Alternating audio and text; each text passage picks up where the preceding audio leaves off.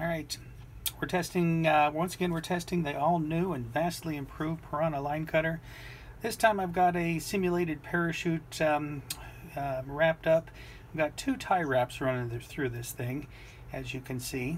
And let's see, it's loaded with triple seven, and we're going to go in three, two, one. Just like that.